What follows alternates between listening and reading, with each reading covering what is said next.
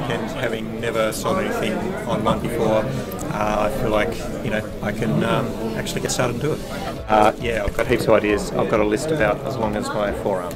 Anyone uh, who hasn't had any experience selling online, anyone who's looking for ideas about selling online, anyone who's um, done some selling online but wants to take it to the next level, the guys seem to cover everything. Uh, I'm super impressed with Alex. He seems like uh, a very successful man who has um, uh, had great success in the past, knows what he's on about, um, has been in this industry for quite a long time, has the runs on the board, um, and is a very approachable guy. So all those things are fantastic.